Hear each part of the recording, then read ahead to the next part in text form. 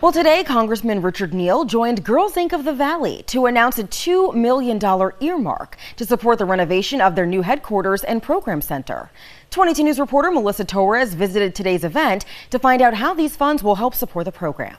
Well, CR, the federal funding that Congressman Neal secured for the program center renovation will allow Girls Inc. of the Valley to complete their work on the $7 million renovation of their 16,000 square foot facility in Holyoke. Their new location will serve as their permanent headquarters and program center, where they will serve more than 1,000 girls from underserved communities. Suzanne Parker, the executive director of Girls Inc. of the Valley, told 22 News that these funds will also help them update the building and make it more sustainable. We've got $2 million coming to help with the renovation of the building, and it's uh, really instrumental in, in, helping us get it done. Parts of the building that needs upgrades, so like uh, there's HVAC upgrades to our administrative part of the building, and other things that we, we really just need to have done.